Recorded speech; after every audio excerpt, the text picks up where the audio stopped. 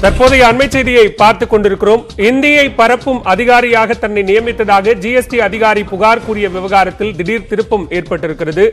GST உதவி ஆணையர் பாலமுருகன் அளித்த புகாருக்கும் தனக்கும் தொடர்பு இல்லை என மற்றொரு அதிகாரி விளக்கம் அளித்திருக்கிறார். இந்தி தெரியாத தன்னை இந்தி பரப்பும் பணியில் அமர்த்தியதாக மத்திய அரசுக்கு புகார் அளித்திருந்தார் உதவி ஆணையர் அஹ், பாலமுருகன். இந்நிலையில் நேரடி வரி வாரியத்திற்கு எழுதிய கடிதத்தில் சுகுமார் என்பவரின் பெயரையும் குறிப்பிட்டிருந்தார். இந்நிலையில் புகாரில் தனக்கு தெரியாமல் தன்னுடைய பெயரை பாலமுருகன் குறிப்பிட்டிருப்பதாக சுகுமார் விளக்கம் அளித்திருக்கிறார்.